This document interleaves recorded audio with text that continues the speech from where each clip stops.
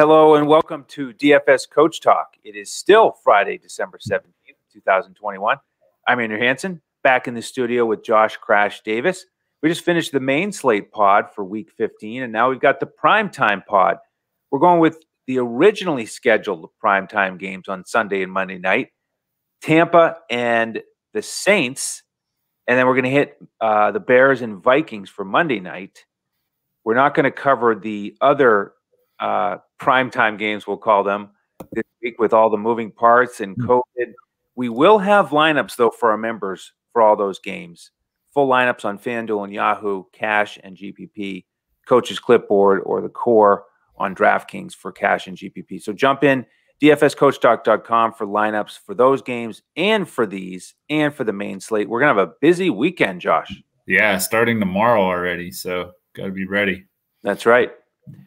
All right, so let's get ready for the the biggest primetime games of the weekend, the, the ones with the biggest contests on DraftKings and FanDuel, starting with the Saints and Buccaneers Sunday night, 8:20 Eastern.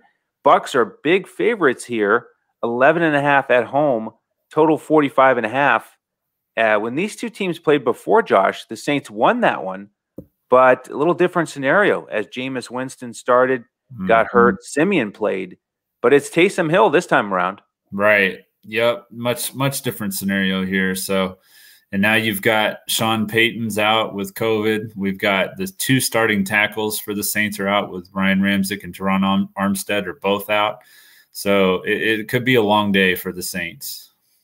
Yeah, I I I feel you there. Uh, I think the line makes sense. Uh, but as we put some lineups together, you know, any little glimmers of hope uh, on that side of the ball? Yeah, I think um, you know Alvin Kamara. He did all right in their first matchup. He had 19 carries for 61 yards, which is not a great average there, but he did get a touchdown. That's the main key there. Um, you know, Tampa has allowed the fifth fewest fantasy points to running back, so it's going to be tough sledding for the Saints running game. Um, you know, and and with um, with the injuries and everything on the offensive line on top of it, it's just going to be that much tougher. But I, I do think that if um, speaking of those injuries, if if Tampa really focuses taking advantage of those tackles with the pass rush, you could see Kamara used a little bit in the short passing game and the screen game and stuff like that to help slow down the pass rush. So I do think that he's in play there. Um, you know, you have to play somebody from the Saints, so he would probably be the top option for me. Uh, Mark Ingram is not in play for me. Um, just more of a power running back that does not suit him well in this matchup at all. Um, just run right into guys like Vita Vea and Ndamukong Suh. It's going to be a long day for him.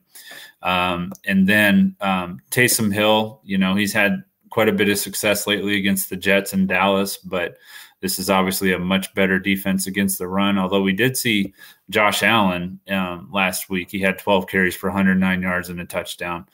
On the flip side of that, the the Bills have a lot more weapons than the Saints, so I think that the Saints, the the Bucks defense could just focus in um, on Taysom Hill and Alvin Kamara, and and it could be a long day. So, yeah, I, I agree. Great points there. Um, also, not on Ingram and Kamara. It's probably only going to work if he catches a bunch of balls because they are so stout against the run. Uh, and then, in, in addition to Allen, who also th- threw for 300 yards. He had the rare 300 100 combo. Uh, Jalen Hurts also had two rushing touchdowns against the Buccaneers. So these these mobile quarterbacks can have success. Uh, it's a bit of a different wrinkle for the Buccaneers mm-hmm. to have to deal with. So Kamara and, and Hill are my favorite options as well. Um, you know, you know, we'll see how the lineups work out on each site. If you go the cheap captain, you could play both of them on DraftKings. Uh, if you go with a, a mid tier or an expensive one, you probably have to pick one because mm-hmm. uh, I will probably load up more on the on the Tampa Bay side. Right. Um, but how about any of the pass catchers? I mean, it is a wild group um, with you know low volume, um, not much reliability. Mm-hmm. Upside upside is really not that great either. Yeah.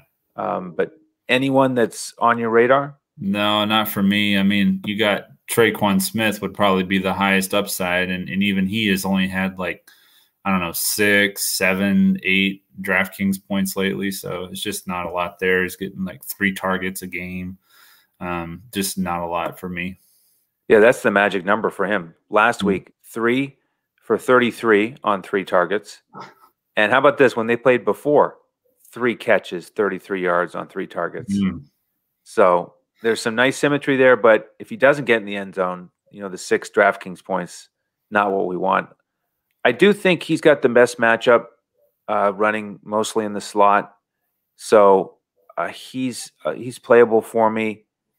Uh, we've got some question marks there too, with little Jordan Humphrey questionable with the hamstring. mhm. Uh, you've got Callaway. You've got Stills, who was out there some last week but didn't get any any action. Um, Deonte Harris still out, by the way. Yeah. And then Vannett had three catches on six targets. So there's a, a punt play option if if you really want to load up on the Buccaneers and go with a cheap Mhm. uh, a cheap member of the Saints. But uh, yeah, I agree. It's probably going to be a heavy Buccaneers lineup. Shall we transition to that side of it? yeah. Yeah. There's not a lot, not a lot here for the Saints, in my opinion. Mhm. So, All right. So on that Tampa side, you look back and I mean that's the key here is that they lost that game in New Orleans, but it was a different group of players. Um, the the kind of the lasting image of it is the pick six for Brady at the end Mhm. to kind of finish it off, which is funny because if you look at the numbers, that performance by Brady in that loss uh, was the most fantasy points that the Saints have allowed to any quarterback this year Hmm. because he threw for 375 and four scores. He did have the two picks, yeah. but the game plan for the Buccaneers was clearly throw it early and often, avoid the tough rush defense of the Saints. hmm And and that's the real storyline for me in this game. Both defenses are real strong against the run. Right. Uh, and the Buccaneers, they showed in that game, let's play to our strength, which is passing it. And we, yeah, we want to be able to run it, but this is just not a good week for it, so we're not going to do it. Fournette had eight carries in that game for 26 yards. Ronald Jones only had three carries for 13. Gio Bernard had two for 30. So they just put it in Brady's hands. He threw it 40 times, put up a ton of yards, uh, and they just they came up short. But I think they're going to do the same thing. I think they're going to go mostly to the pass. So I want to have Brady out there. Uh, Godwin was heavily targeted in that game. Uh, you know, did the best of the pass catchers, and he's been a, a monster lately with Mhm. AB out. Yeah. So I, I think they continue along that path. I like the Brady to Godwin combo again here. Evans not as high on with the the tough matchup. He's going to face a lot more Lattimore. Wow. Uh, and and Brady only targeted him four times in that matchup back in Week Eight. Right. So uh, that's the primary focus there. If you want to save a little, you could look at Tyler Johnson getting a little bit more involved. He had three catches last week, and he actually had five catches in this matchup earlier. So he's a, a cheap option. Uh, Breshad Perriman had the the home run play that we've been talking about for a few weeks, uh, the walk off against Buffalo. Uh, but that was his what he had what two targets in that game. So Right. um, you know, he's still not getting a ton of targets. Gronk is a little bit expensive on DraftKings at 78. He's been really strong these last few weeks. hmm Uh, the Saints are strong on paper, you know, with the numbers here. It's a bottom 10 matchup for tight ends, but they haven't played Kelce or Waller or Andrews. So I think Gronk can get it done. It's just, you know, does he get into the end zone? Because that that price is a little a little stiff. Yeah. Uh, and then I, I really don't plan to play the running backs. Um, know, Mhm.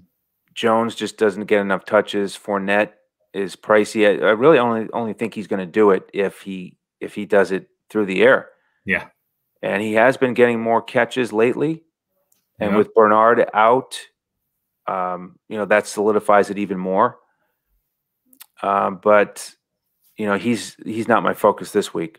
hmm Yeah. No, I agree. Did Gronk play in the first game? I can't remember. He got hurt, uh, so he he got Oh, I think yeah. one target. uh, and then left. So that one is kind of hard to evaluate. Yeah, that's right. I remember that. Anything different for you on on Tampa? No, I think I would fall along the same lines. Um, you know, like you said, Godwin's been heavily targeted, been very productive. Um, Evans, you know, he's been performing well too, but he just really struggled traditionally against Lattimore. He's kind of had his number. So, um, yeah, I think that's that's that's the way to attack this uh, Saints defense, as you mentioned. Very tough against the run. I believe they've allowed the fewest um, fantasy points to running backs. So, that's right, number one. Yep. Yep. All right, great. Well, uh, let's transition to game two. Appreciate everybody's support here. If you hit that thumbs up, we'd really appreciate it on YouTube. And we'll continue to bring these primetime podcasts to you. Check out the main slate pod if you haven't already. Uh, and let's hit up the Monday night game, the late game now, all of a sudden at 8.15 Eastern.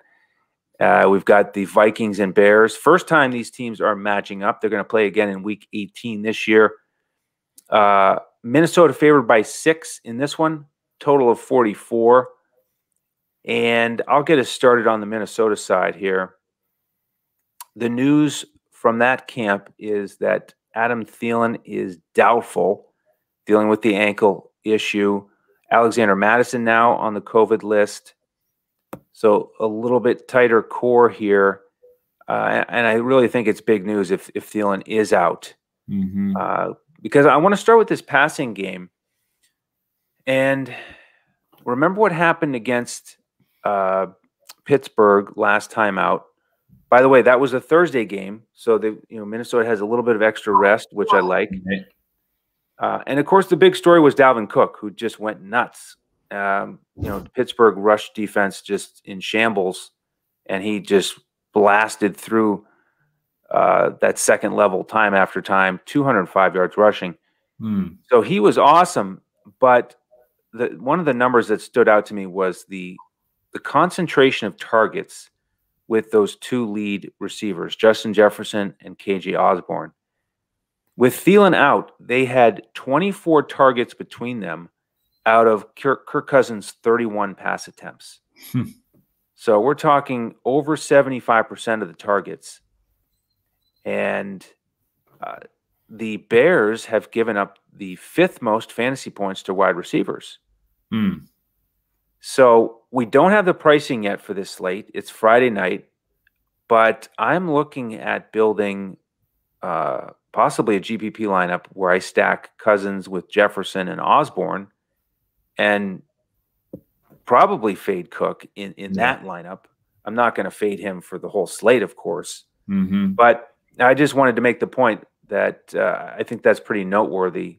Those numbers, um, and it's such a small group of guys who get targeted on that team, sort of like the Rams in recent years, right? Because um, we talk all the time about how they just they ride the the, the bell cow running back. Mm-hmm. You know, mm-hmm. Cook when he's healthy, if it's Mattison, it's basically Mattison all day, and so they yeah. kind of do that with the the pass catchers too.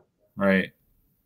Yeah, I mean, we we saw it Sunday night too with with Green Bay with Davante Adams and Allen Lazard. You know, they had the pretty pretty big games for Green Bay, and um, the running game struggled a little bit. So I could definitely see that. Yeah, exactly. Um, I wanted to make that point as well. And the matchups on PFF uh, really strong. Jefferson ninety eight point one, Osborn, eighty five point nine. Mm-hmm. Um, so I, I have you know a strong a strong uh, optimism that those guys will be effective again. And the you know the Green Bay guys, I guess it was more of a passing game in terms of the touchdowns, but Dillon and Jones did combine for 20 carries for 106, so over five yards per carry while they're running it. So I feel pretty solid about Cook again, especially with Mattison likely out. They're, mm-hmm. They don't have much depth there. They've got Nwangwu, and they just signed Wayne Gallman. So hmm. uh, those are the guys who might fight for one or two carries each. Yeah. and then uh, tight end group, we've got Conklin, a couple catches last week. Uh, Herndon had one, and your your boys, you know, were pretty solid. Lewis and Deguara, 70, seven for 95. Mm-hmm. So it's a it's a possibility. Uh, again, we'll see what the pricing is like, but I'm I'm pretty interested in this uh, Minnesota side, uh, and uh, curious to see your thoughts there and your thoughts on Chicago.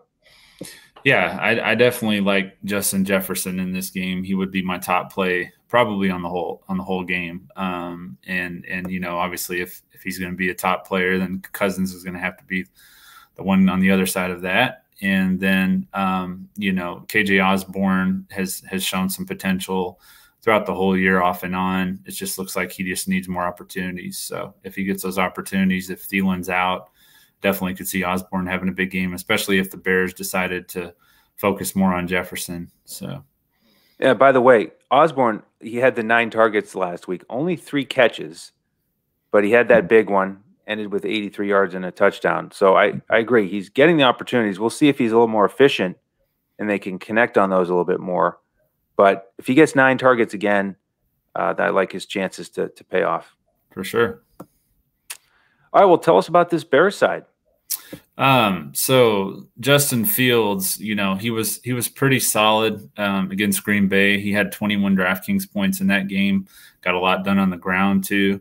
Uh, but in his last three starts, he's got 21, 19, and 29 DraftKings points. So it seems like things are starting to slow down for him a little bit.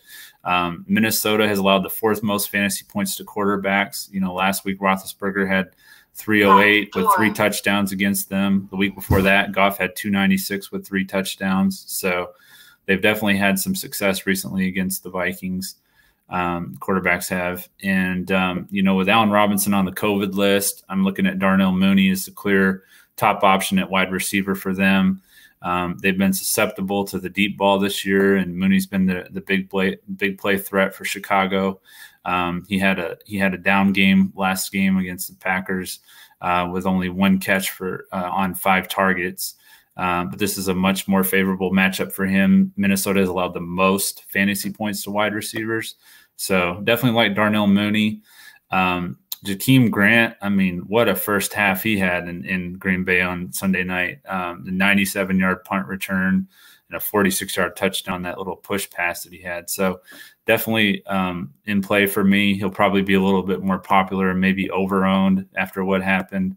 Uh, and and the Vikings are better against punt returns. They they are sixth best in the NFL with only 6.6 yards per punt return, whereas Green Bay was last in the NFL. So um, that's that's definitely an option for me with Grant. And then for a GPP sleeper, you could look at a guy like Damiere Byrd.